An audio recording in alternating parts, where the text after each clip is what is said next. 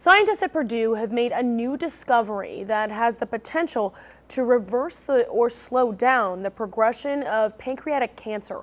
I talked with one of the scientists involved in the study who shares what this new discovery means.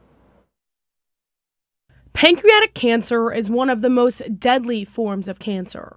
The five-year survival rate of the pancreatic cancer is probably around 10%. One reason for that low survival rate is because many people are diagnosed when the cancer is already very advanced. But now, researchers at Purdue think they have found a way to treat the cancer cells that will cure them rather than kill them, which can have adverse effects on patients. Uh, the gene we found is basically reprogramming the cancer cell to the normal cell.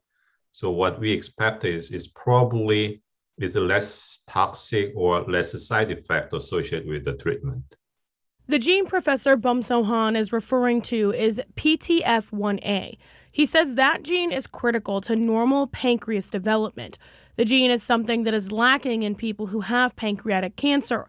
Now, the research team is working on trying to figure out how to deliver the gene into the cancer cell, which can be difficult. Pancreatic cancer is one of the most dense, mechanically dense, so the drug is really difficult to penetrate through the tumor tissue as well. Which is why Han and his research team are studying pancreatic cancer from multiple levels of severity. Our approach is to not only working on the late stage, what about we take a look and understand how the disease is developed and then progress into the late stage disease.